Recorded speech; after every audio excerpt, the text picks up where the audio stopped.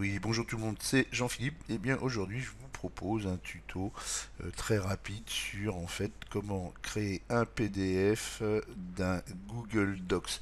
Alors bien sûr, euh, pour pouvoir faire cette opération, il faut avoir un compte Google et donc vous avez un Google Drive. Donc on va ouvrir eh bien un document, voilà, au hasard.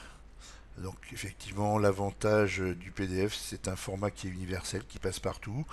Euh, qui est facile à partager car il est très peu volumineux. Donc ici voilà c'est une euh, chanson.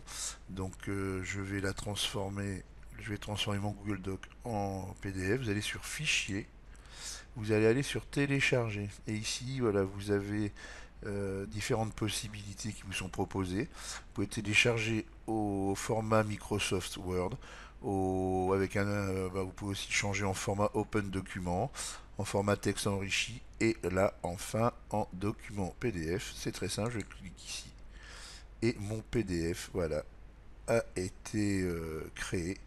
Ensuite il me reste quoi? À l'enregistrer. Et puis ben, je vais l'enregistrer euh, sur mon ordinateur. Voilà, je vais le mettre euh, sur mon bureau et je fais enregistrer. Donc voilà, je l'avais déjà euh, téléchargé, c'est pour ça que j'ai cette petite fenêtre euh, qui apparaît. Donc on me demande si je veux le remplacer, je fais oui. Et voilà, j'espère que ce petit tuto rapide vous servira. Je vous dis au revoir et à bientôt.